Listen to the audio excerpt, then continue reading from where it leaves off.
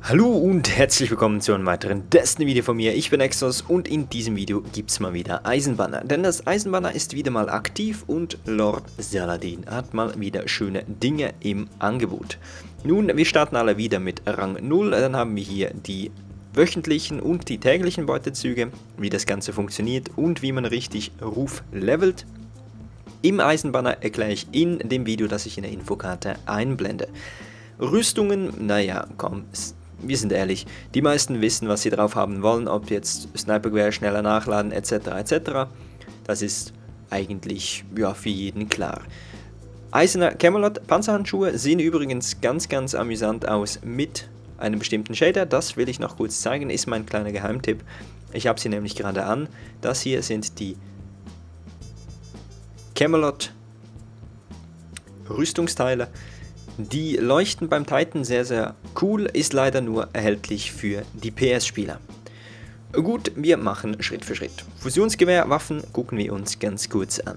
Ich bin eigentlich nicht so der Fusionsgewehrspieler und ich habe die noch nie ausprobiert, aber das, was hier drauf ist, zeigt eigentlich schon, dass sie sehr, sehr gut ist. Versteckte Hand, damit man den Feind noch einfacher trifft, ist extrem stark. Dann können wir hier verstrebter Rahmen drauf tun, was die Stabilität immens erhöht. Und hier noch Hot Swap. Diese Waffe breit zu machen gewährt kurzzeitig Bonuspräzision. Das heißt, die spielen eigentlich alle miteinander, um hier die Stabilität zu erhöhen, die Trefferquote zu erhöhen und das Fusionsgewehr zu einer starken Waffe zu machen.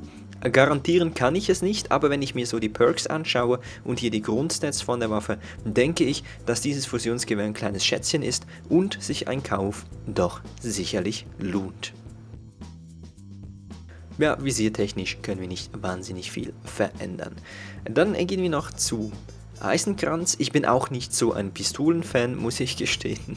Das heißt, die Auswahl, die er hier dabei hat, ist nicht so der Hit. Ich muss aber sagen, Zen-Moment sieht als Perk hier sehr, sehr interessant aus und Schnappschuss ebenfalls oder fixer Zug, um die Waffe schneller zu wechseln. Das heißt, es ist doch auch hier von den Perks lukrativ und ich denke, Leute, die gerne mit dem Eisenkranz spielen, also es gibt die eine oder anderen, die schon gute Erfahrungen damit gemacht haben, werden sicherlich auch sagen, das sind gute Perks, die hier drauf sind, könnte also auch ein kleines Schätzchen sein. Ich persönlich bin aber nicht so überzeugt von der Eisenkranz schon als Grundwaffe, habe jetzt noch keinen Reefer dazu gemacht, aber schon ein bisschen damit gespielt bin ich zu Fan davon.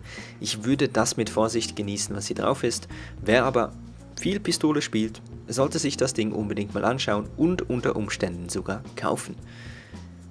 Gut, wie schon gesagt, rüstungstechnisch, ich glaube, da muss ich nichts dazu sagen. Falls ich im nächsten Eisenbanner doch noch etwas zu den Rüstungen sagen sollte, schreibt es in die Kommentare, damit ich ein bisschen Feedback kriege. Dann weiß ich, okay, dann zeige ich Titan Warlock und Jäger die Rüstung. Sag vielleicht noch was dazu, wenn das wichtig ist.